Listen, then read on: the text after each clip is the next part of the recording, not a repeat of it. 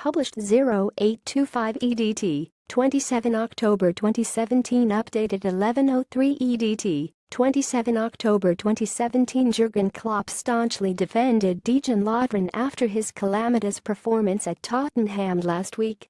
Lovren was hooked after 31 minutes at Wembley after a number of mistakes and could miss out against Huddersfield on Saturday. Klopp who heavily criticized the central defender last week will decide on his starting eye later on Friday, although made it clear Lovren's stock at Melwood has not changed. Jurgen Klopp spoke on Friday ahead of Huddersfield's visit to Liverpool this weekend Jurgen Klopp has come to the defense of Liverpool's under-fire centre-back Dejan Lovren I don't wish mistakes to be discussed in public. You have no idea how it feels Klopp said am not the kind of person to stand around with a smartphone and not help. It wasn't the nicest week in Dejan's life, but it is only football. I've much more positive things to think about with him than negative still.